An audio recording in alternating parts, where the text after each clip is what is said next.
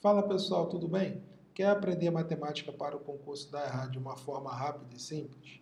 Então esse vídeo é para você. Sejam bem-vindos a mais uma estreia aqui do nosso canal.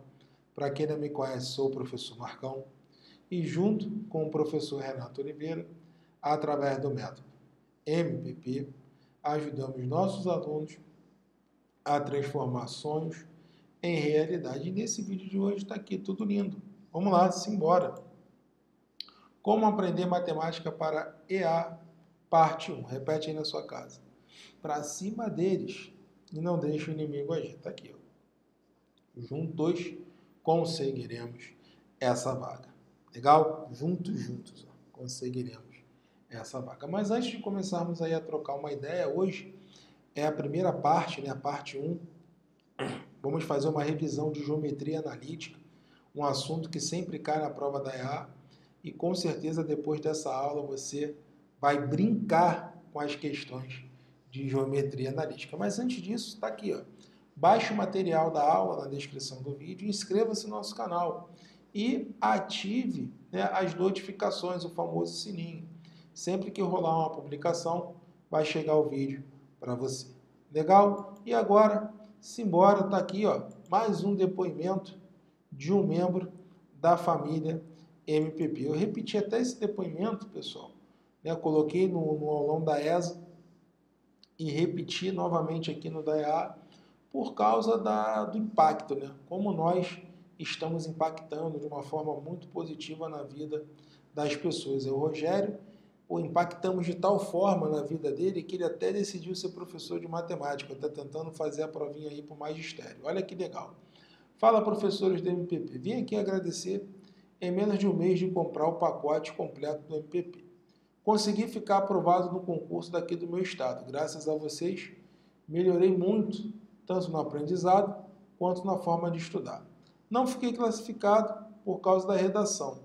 Enquanto não sou chamado nesse, a luta continua.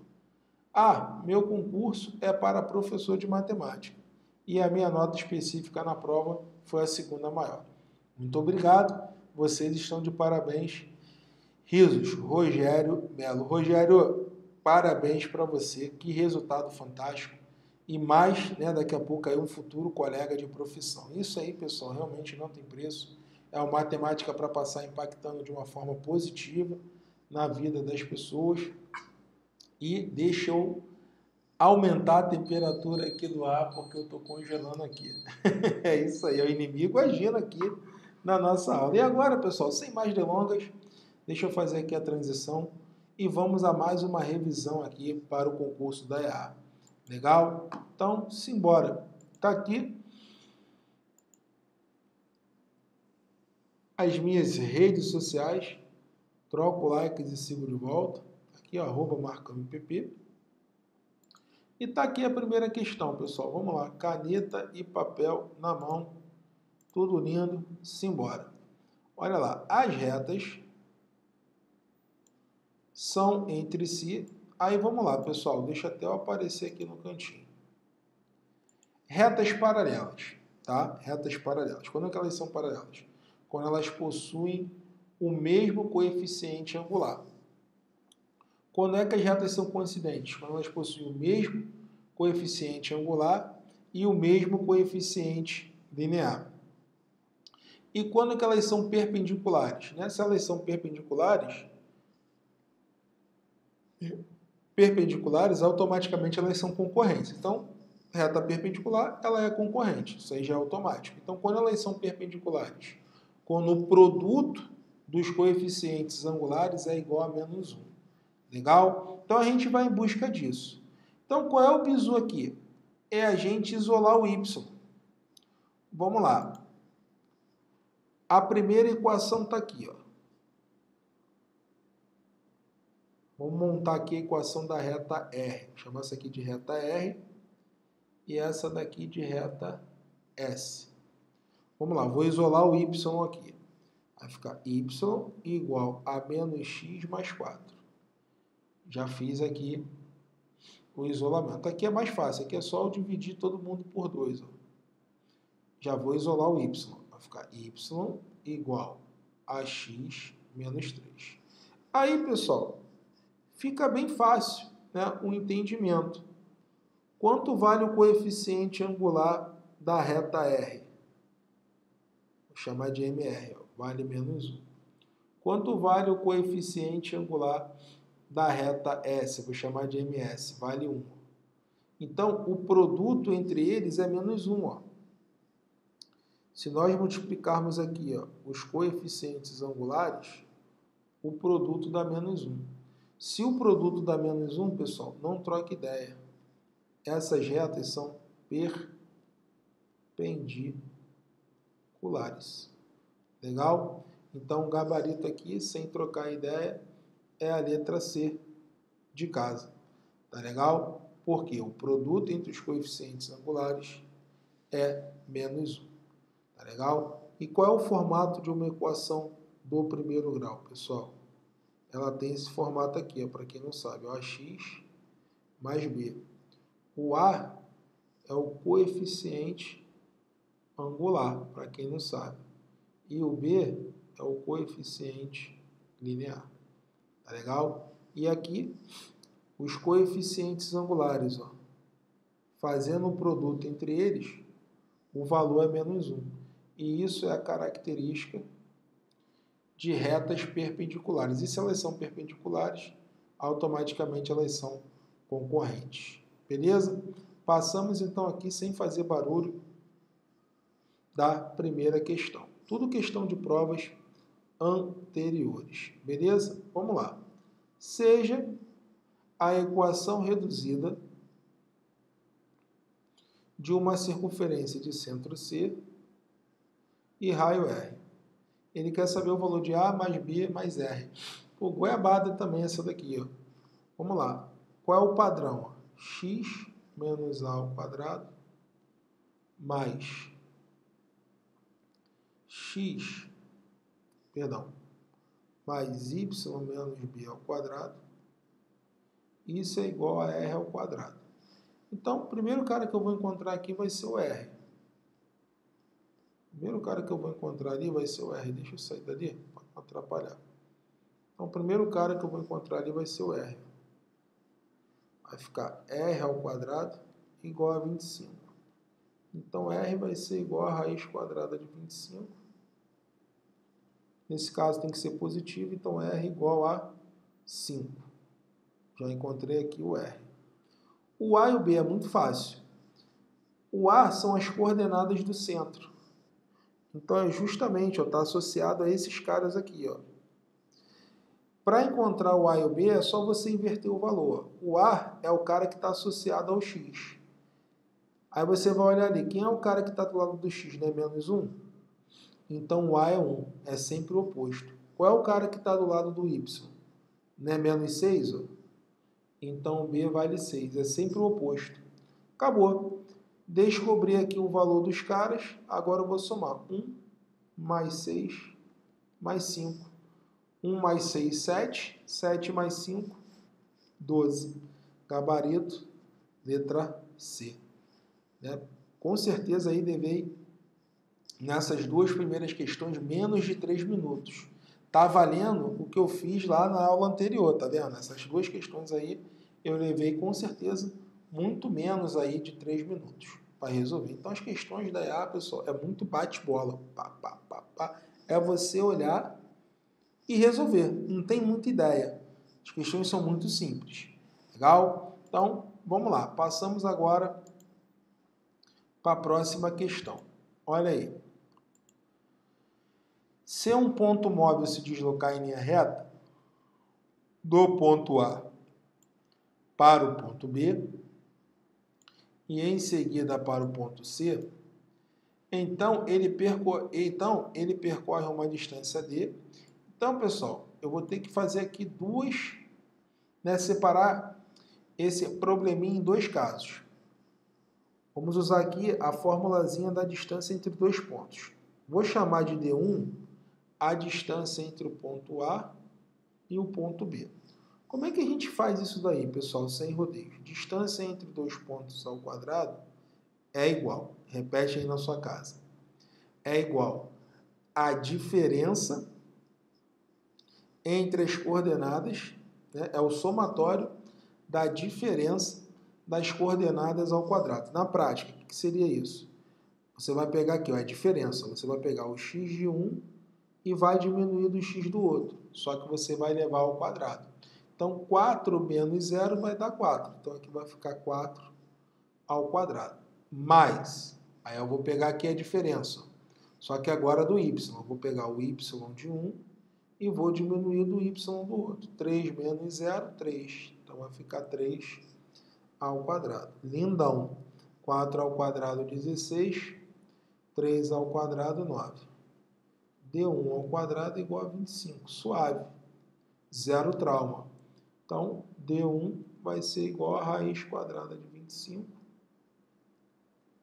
Que nesse caso vai dar quanto? 5. Então, já achei a distância de A para B que ele percorreu. Beleza. Agora, eu tenho que descobrir a distância de B para C. E depois somar as duas. Vou chamar aqui de D2, ó, a distância de B para C. Então, D2 ao quadrado vai ser igual. Aí vamos lá. Deixa eu apagar aqui, ó. Para não confundir. Agora eu vou de B para C. Aí qual é o macetezinho? método MPP, distância ao quadrado é igual ao somatório das diferenças ao quadrado. Diferenças das coordenadas. Eu vou pegar o x de 1. Eu vou de B para C, que é melhor. Tanto faz, na verdade, tá? Eu vou de C para B, perdão. Vai ser o x de 1 menos o x do outro. Então, 7 menos 4 vai dar 3. Só que aqui tem que elevar ao quadrado. 7 menos 3 vai dar quanto? 4. Só que aqui tem que elevar ao quadrado. Aí a continha é a mesma, vai dar a mesma coisa. 3 ao quadrado, 9, 4 ao quadrado, 16, vai dar 25. Opa. T, D, 2 vai ser igual a raiz quadrada de 25. D2 vai ser igual a 5. Como ele está pedindo aqui quanto ele percorreu na distância, total vai ser D1 mais D2. Quanto é que dá D1 mais D2? 5 mais 5 vai dar 10. Gabarito, letra A. Beleza? Então, pessoal, sempre cai uma questão de distância entre dois pontos. É, dá uma atenção maior a esse tópico. Beleza? Vamos lá. E a próxima questãozinha, pessoal, é aquela que quando cai a galera erra. Por quê? Tem que decorar a fórmula. Não tem jeito. É a distância entre o ponto e a reta. Qual é a formulazinha, pessoal? Ó, tá aqui, ó. Dada a reta, dada a reta R, o ponto P. A distância de P a R. Então, se eu não me engano, na provinha, na primeira que teve esse ano, caiu uma questão dessa. Ó, distância né, do ponto à reta vai ser igual. Ó, aí você tem que decorar essa formulazinha aqui. Ó. Aqui é a equação geral da reta, né, dividido por raiz quadrada de A2 mais B2. Então vamos lá. A equação da reta é a que ele está te dando. E no lugar dos x e do y, eu vou botar aqui as coordenadas do ponto. É só isso. E o a e o b da fórmula são os coeficientes de x e y da reta. Né? Então já vou colocar aqui, eu já sei quem é o x, o e y, o, e o a e o b. O a vale 2 e o b vale menos 3. Aí é só substituir, pessoal. Distância do ponto à reta vai ser igual ao A, que é menos 3 é módulo, né? vai ficar menos 3. Perdão, o A é 2. Aí é só você substituir ali. Ó. Vai ficar 2 vezes XO, que é 5. Só você prestar atenção aqui, ó. Menos 3, que é o B, vezes o YO, que é o 6, mais 5, isso em módulo. Dividido, engole o choro e se embora. Por A2 mais B2. Fazendo aqui a continha. Aqui vai dar 2 vezes 5, vai dar 10. Aqui vai dar menos 18. Então vamos lá, fazendo a continha. 10 com menos 18 vai dar menos 8. Menos 8 com mais 5 vai dar menos 3. Né? Esse módulo dividido. 2 ao quadrado, 4. Menos 3 ao quadrado, 9. 4 mais 9 vai dar 13. Vai dar raiz de 13. Só que o módulo vai ficar positivo. Então, ficaríamos ali com 3 dividido por raiz de 13. Racionalizando, vai multiplicar em cima e embaixo. Isso aí vai dar 3 raiz de 13 sobre 13. Olhando aqui as opções, gabarito, letra D de Deus, D de dado. Legal? E essa foi a nossa última questãozinha. Ah, Marcão, não acredito. Essa foi a última questãozinha da nossa revisão de geometria analítica. Em algum lugar aqui no vídeo vai aparecer na telinha a aula passada, né?